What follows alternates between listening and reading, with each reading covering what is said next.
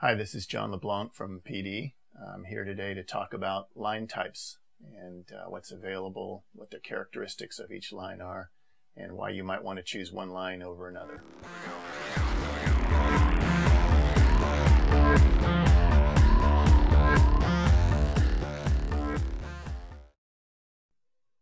So Dacron is a brand name from DuPont for polyester.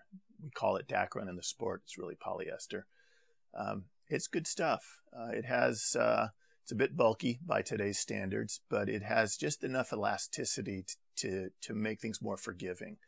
If uh, for student parachutes, you get a student that's kind of rolling down on his shoulder after a uh, one of those little tracks where they kind of get a little steep, and having that Dacron line uh, just kind of makes things a little less critical on opening.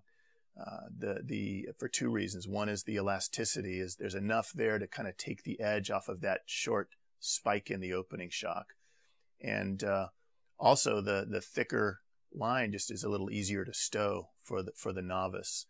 Um, it uh, it abrades. You know, it's it's not the the best line in terms of uh, wear, but um, but it's real forgiving line and it's used uh, on uh, in conservative applications. It's also uh, a worthwhile consideration for somebody who has a really delicate body who uh, just can't afford an occasional hard opening. It really uh, helps reduce that.